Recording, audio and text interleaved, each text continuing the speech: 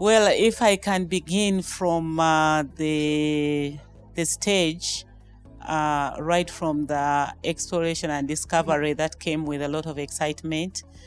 This is 15 years ago, uh, 22006. There was that announcement about the discovery of oil in Uganda, and uh, we have been developing this industry right from the human resource, where a number of Ugandans uh, staff from the ministry were trained from outside, sponsored by government, and we started engaging in uh, agreements with the stakeholders.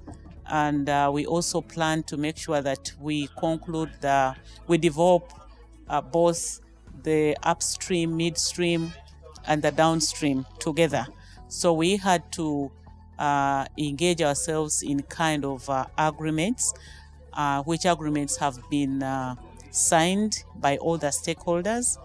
And uh, at the upstream, we also planned to have a refinery because we wanted to add value, because we have plans to develop an industrial uh, industrial park in the oil region, and this industrial park will have uh, second international airport for Uganda, where we'll be seeing cargo planes flying in and flying out.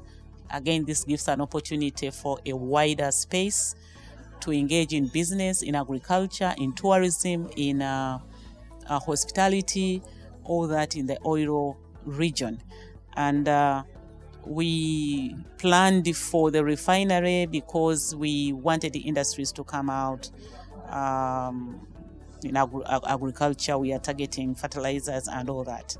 So the refinery is a consortium, and uh, we are ready. We have a roadmap which we are following, and uh, we know that uh, as we develop the production at that stage, we will be seeing um, the first licensing round came with two uh, production areas, uh, Tilenga production area will be producing 190,000 barrels a day, and Kingfisher will be producing 40,000 barrels a day.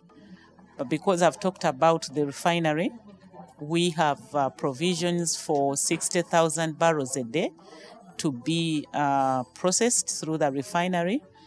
That means the pipeline, which we also worked on as a, as a company, uh, will be transporting 200,000 barrels a day.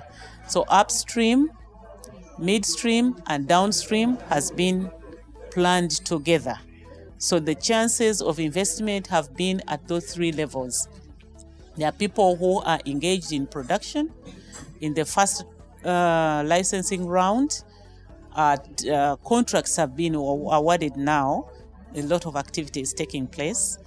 And uh, um, at the downstream, of course, we are providing for storage terminals where Uganda National Oil Company is the one that is going to do business on behalf of government.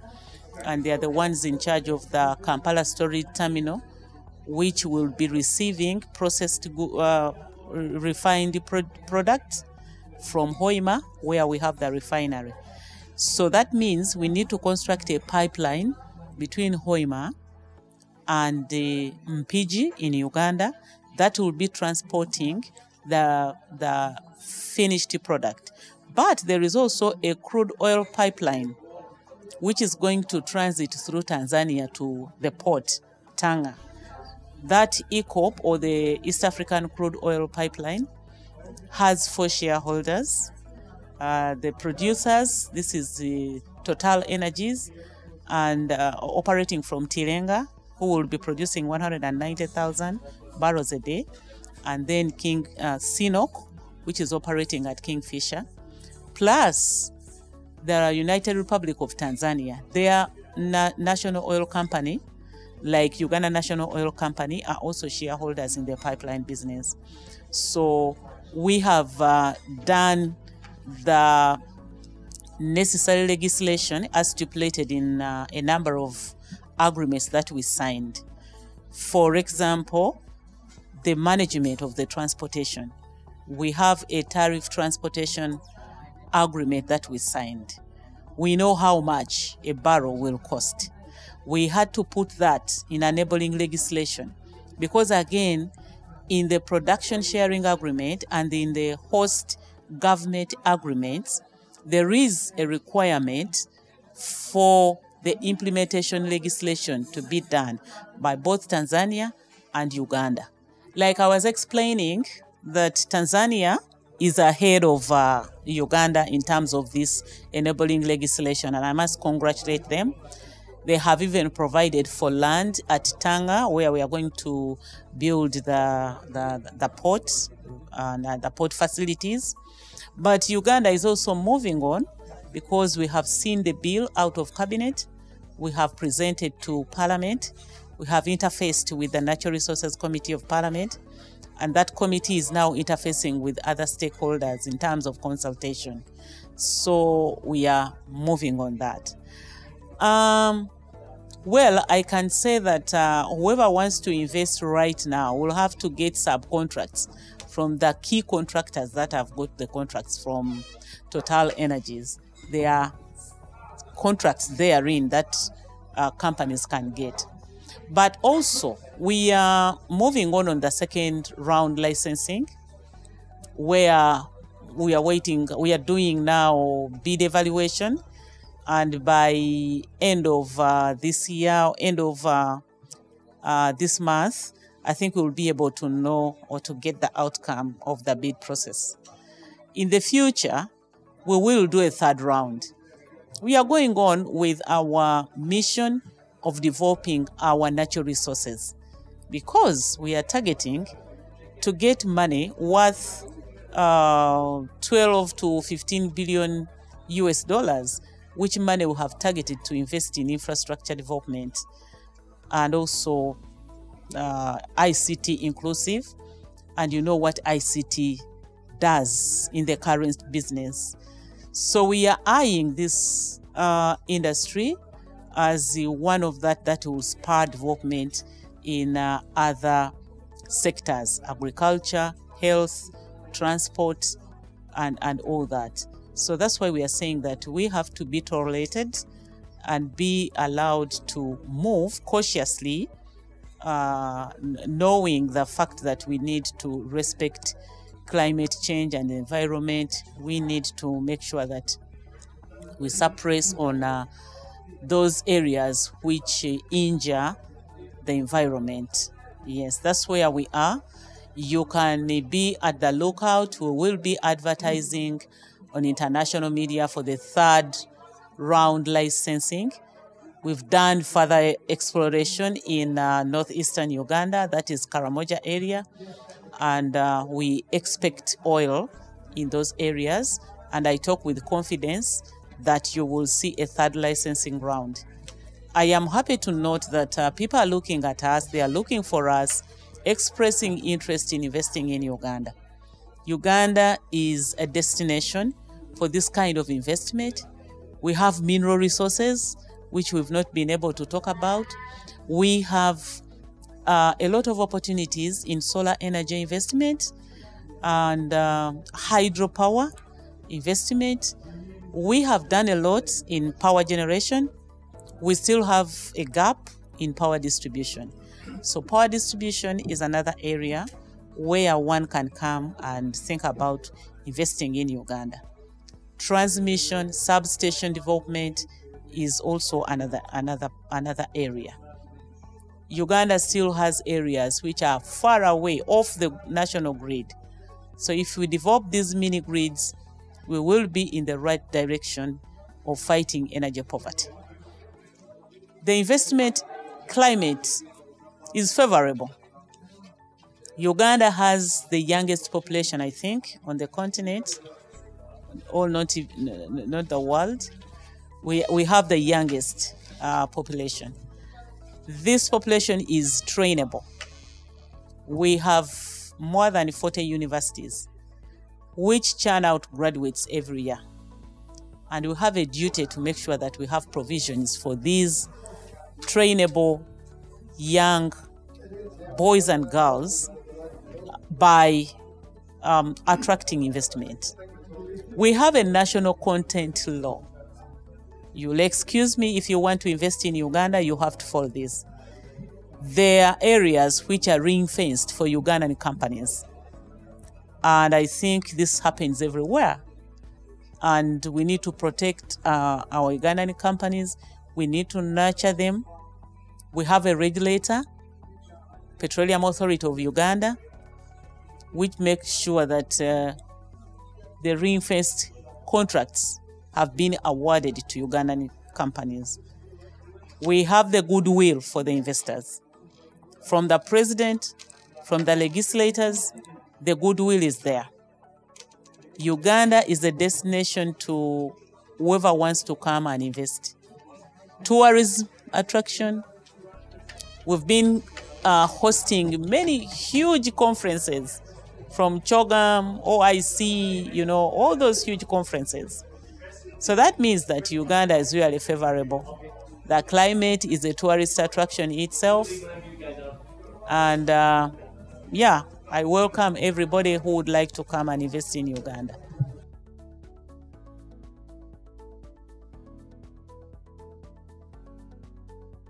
Right now, we have 1,680 megawatts on the national grid, but consumption is at 730 megawatts. That means we have that quotes excess power. What makes, makes it excess is because we have not distributed it. We have not done the last mile connection. But if we are to do the connection, that power is not enough. So, we, yes, we are still continuing investing in power generation. But because of that excess power in quotes, I feel um, obliged to use it to connect to the consumers. But we, we also uh, export to our neighbors. We export to Kenya, we export to South Sudan, we export to uh, northern Tanzania, we export to Rwanda. We, we have plans to, we are building the infrastructure to export energy to DRC. So we have that potential. We are central and strategically positioned as Uganda. We are land, land linked not landlocked. We are land linked. You can actually put your base in Uganda and operate in South Sudan, Somalia, Ethiopia, Kenya, Tanzania, Rwanda, Burundi, DRC, operating from Uganda. That is the market around us.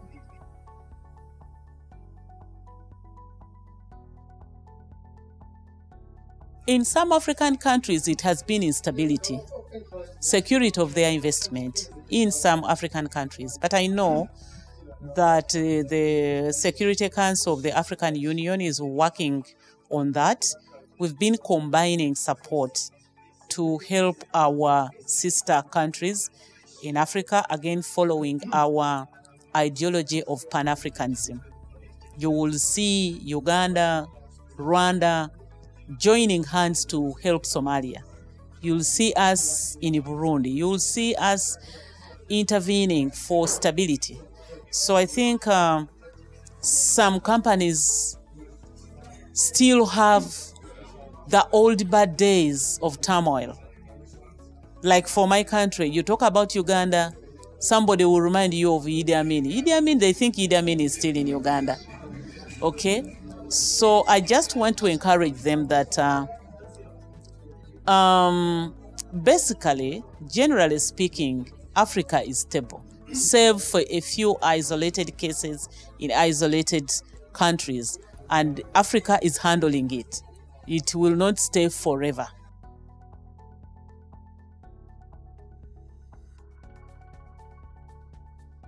The other thing on renewable is um, renewable like solar is expensive. So most of the companies would like to see a take or pay provision in the power purchase agreement. And now pressures from parliament, they're like they are tired of paying for power which we are not consuming. Just in case you have constructed the power generating plant, the solar, the solar plant, before government has provisions of evacuation of that power. So you have finished the uh, construction of the production. You are stranded with that production because power is not being evacuated because of lack of infrastructure. So year in, year out, you pay. Take or pay provision. That is a challenge because these developers borrow money from banks and the bank would like to see an arrangement which um, um, indicate clearly that money will be paid back. Okay? So that means as governments, we have to make sure that we plan concurrently generation and transmission and distribution. And Uganda is merging the three companies that have been uh, one generating, another one transmission, another one on distribution, so that they can plan together under one board. This will help us cure the challenges of take or pay provision.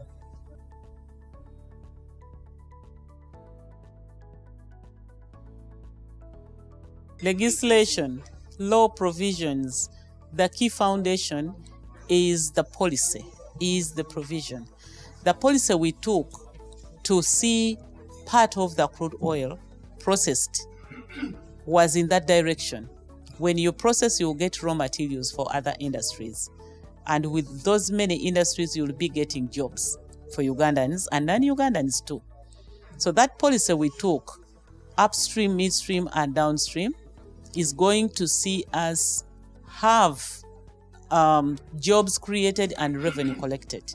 Thank you so much for the opportunity. I just want to assure everyone who is watching us that Uganda is cognizant of the fact that climate change is with us and that much as we are talking about going forward with our development plans in the petroleum industry, we will not ignore the need for uh, hydrocarbon capture from the atmosphere. That means we have plans. Our Uganda National Oil Company has plans to plant 40 million trees, which will work as the carbon sink. We are also doing a review of our national oil uh, and gas policy to take care of the new emerging issues regarding climate change. We also have a law on energy efficiency and conservation. We have a bill in place which is being tabled to cabinet on energy efficiency and conservation. So all those are indicators that you are moving with the rest of the world.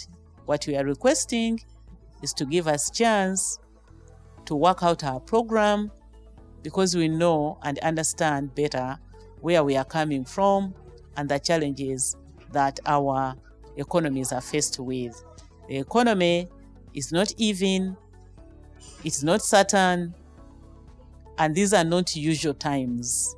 So we need to be pardoned and work towards that, but following our pace.